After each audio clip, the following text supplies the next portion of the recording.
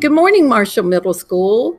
Happy Monday. Welcome back. I hope everybody had a nice weekend and I hope everybody had a good time participating in the Spread the Love uh, Spirit Week last week that Mrs. Del Rocco and the SCA put on. I thought they did a fabulous job. So, bravo to you guys. It was terrific a couple of months ago, someone in Mr. Seward's homeroom requested that I talk a little bit about kindness. So I thought we could just wrap up Mrs. Del Rocco's campaign with just a quick Millie's Manners on kindness.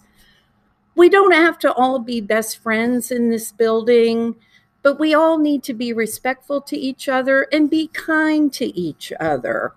I, it's so easy to be kind to people. It's like the please and thank you at the beginning of the year that we talked about.